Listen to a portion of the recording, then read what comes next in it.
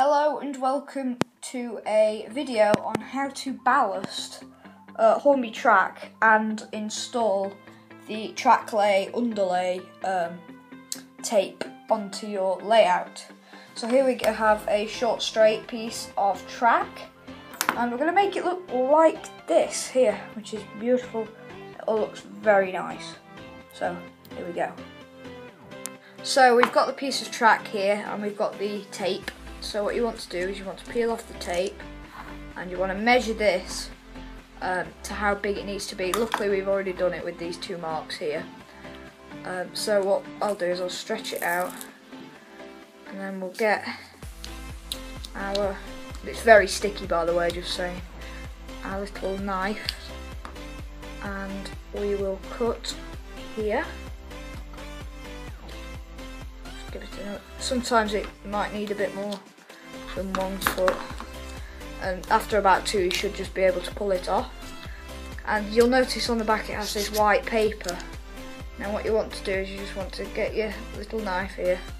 Just prise it off a tiny bit so you can get your finger underneath it. There we go. Right and then you want to peel it so that it's straight just like that.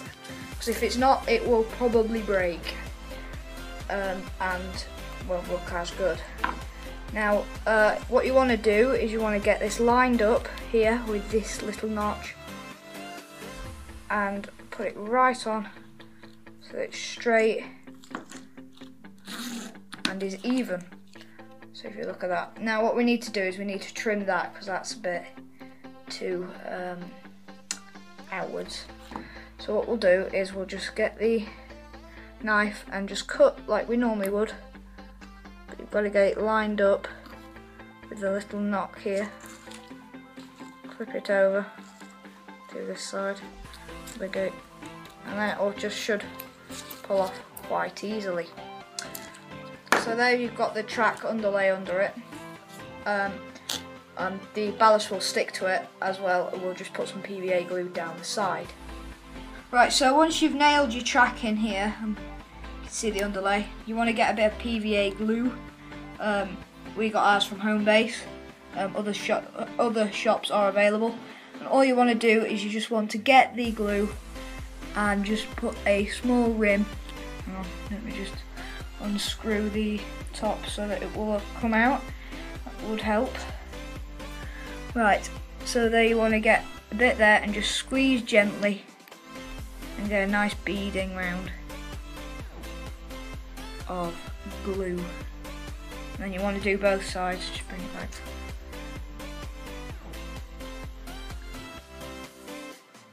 Now you have got to be careful if you've got it like I have with the sleepers nearly hanging off, which isn't the best, but it'll do because it can, can knock you. Um, and then what you want to do, uh, you want to get your ballast. We've got this little ballast, um, and you just want to pour it in the middle of the track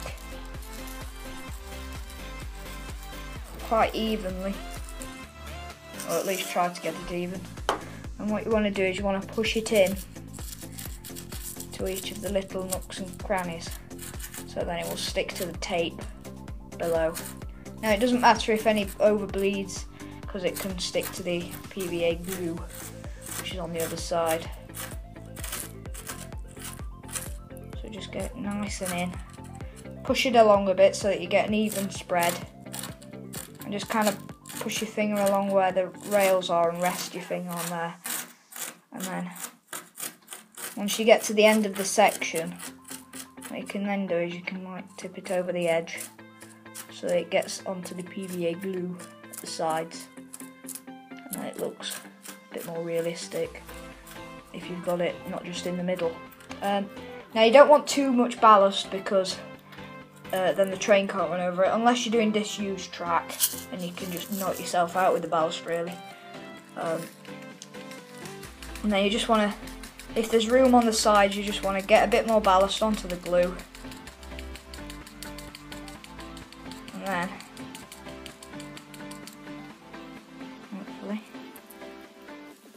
look a bit better. And, uh, really, you want no glue to be showing. You kind of, oh, it fell over. Um, just want to give it a poke a bit. Now I'm a bit light on the ground here, so I probably put a bit too much glue on. You only want a bit. Oh, yeah. Um, probably get a bit more on this side as well. And then just give it a poke so it gets in between the um, sleepers and make sure you can't really see any of the glue. Now I have definitely put a bit too much on. Too much glue. Um, so probably put a lot less than I did and then just really get it in the middle. And then probably leave it to dry and stick for about um, 20 hours or so. Like, wake up the next morning, it should be done. Depends what time you go to bed or what time you do it. Um, and it should look really good. And then just hoover it, get the hoover out, or vacuum cleaner if you don't know what a hoover is. Um, and then uh, get all the spare bits of ballast, and then you can use them again on other bits, and then you don't waste any. So this is what it will look like after you've finished with it. Um, it's literally nearly solid this side. That side I've just done today. And uh, it gives a nice bit of weathered dust look on the uh, on the old sleepers. It kind of looks a tiny bit better, a bit more realistic. So thanks for watching this uh, tutorial on how to ballast. Um, I hope you've enjoyed it. Uh, be sure to subscribe for more model railway vi videos.